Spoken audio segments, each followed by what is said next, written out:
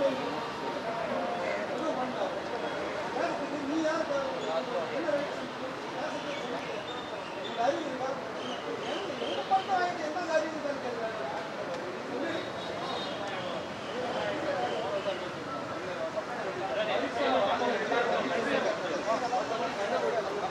Sir எங்களுக்கு பத்து நாளைக்கு முன்னாடி தான் எங்களுக்கு தெரியும் தெரியும். பத்து நாளைக்கு முன்னாடி தான் இந்த ஹோட்டல் வந்து கான்ட்ராக்ட் மாறிச்சு.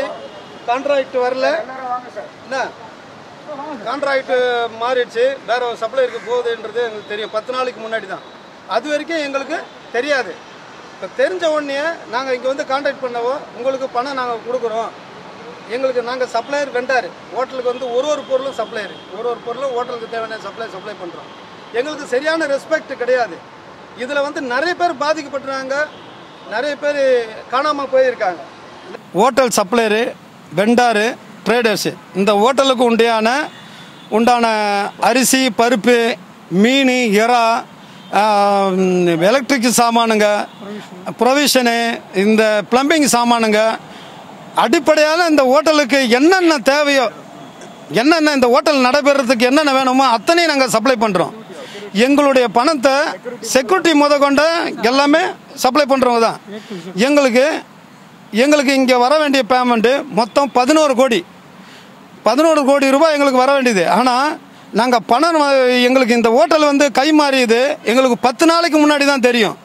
நாங்கள் வந்து இதை பற்றி சேர்மனுகளை கேட்டோம். அதுக்கு ஒரு ஆளை வந்து ஜிஎம்னு சொல்லிட்டு ஒரு ஆளை பால்தாஸ்னு ஒருத்தரை நியமித்தார் நீங்கள் வந்து அவர்களை வந்து பணம் வாங்கி ஒருகளை க கம்யூனிகேஷன் வீங்க. அவருக்கு உங்களுக்கு எல்லாம் டீட்டெயில் கொடுப்பாரு. அதை நான் சொன்ன மாதிரியா அப்படின்னு சொன்னார். சரி நாங்களும் அதை ஒரு கம்யூனிகேஷன் பண்ணோம்.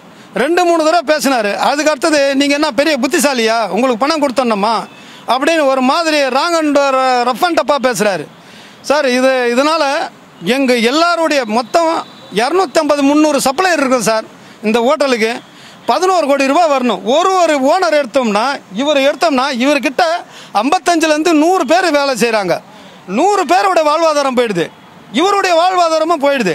ஒட்டுமொத்த எங்களுடைய மூலதனம் பார்த்தீங்கன்னா தொழில் மூலதனம் பார்த்தீங்கன்னா இங்கே தான் இருக்குது இந்த பணம் மட்டும் நான் எங்களுக்கு வரலன்னா நாங்கள் சூசைட் பண்ணி தான் சாகணும்.